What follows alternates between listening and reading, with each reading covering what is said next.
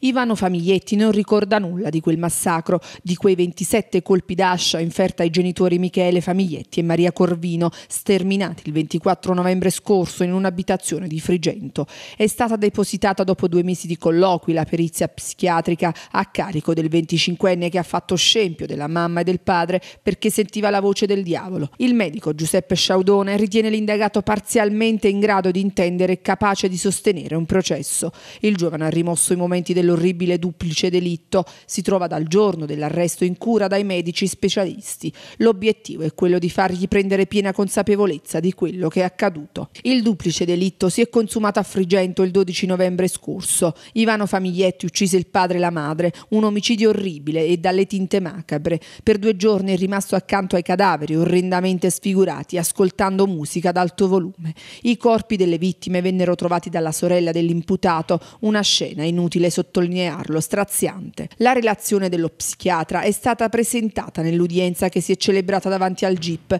e alla quale hanno partecipato il difensore di Famiglietti, l'avvocato Testa e il pubblico ministero De Angelis. Subito dopo quel terribile omicidio si è innescata la discussione sulla difficile gestione delle persone affette da disturbi mentali. Le condizioni di Ivano erano note, così come le sue stranezze e gli eccessi d'ira. Quasi una tragedia annunciata che nessuno è riuscito a prevenire, anche evidentemente per l'assenza di una rete capace di sostenere e aiutare sia l'indagato che i suoi familiari.